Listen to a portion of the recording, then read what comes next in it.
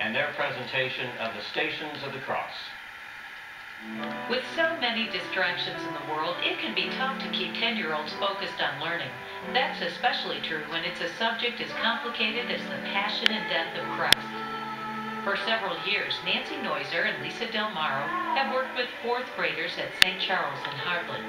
By performing a living Stations of the Cross, they're helping children understand what Holy Week is all about. I wanted to bring it to a younger audience, this beautiful ritual, this Catholic ritual we have of the Stations of the Cross. Fourth graders are just very eager to please. Um, they love the fact that they can, you know, really form their faith in a, in a way that's um, hands-on, interactive, and, and be dramatic, because they are. Everyone has a part to play, including angels, soldiers, Jesus, and Mary. Teachers choose names from a hat to determine who plays each role.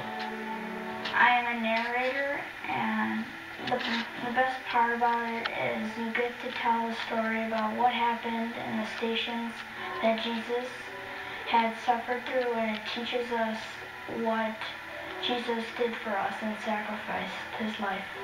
Kind of have to act like you're really like sad for your son, and you, I like the angels. There's, the halos are sparkling. The presentation with music and pageantry is held during school and in the evening for parishioners. After the performance of the Living Stations of the Cross, the teachers have a discussion so kids can ask questions. The students appreciate this approach to learning and find some valuable lessons on their own. How much he suffered and how I wouldn't want to do that. Instead of just reading out of a Bible or talking about it, you actually get to play parts. It's a lesson they'll remember for a long time. I'll think about how much fun it was to put on this play and just remember how it was like in Jesus' time. If you speak to any of the children that I've had, you know, that are in high school now, it's one of the things that they remember being a part of, and um, they come together as a class and they learn together. And the students aren't the only ones learning.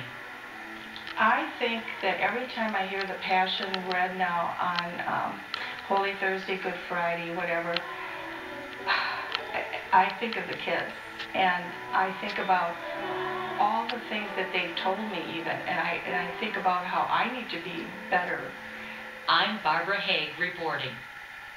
Thank you, Barb Haig.